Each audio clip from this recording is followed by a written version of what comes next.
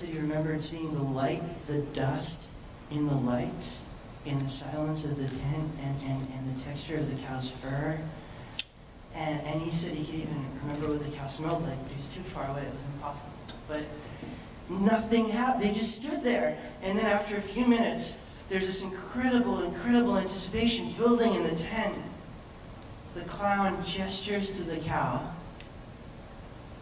bows, and they woke up, and that's it.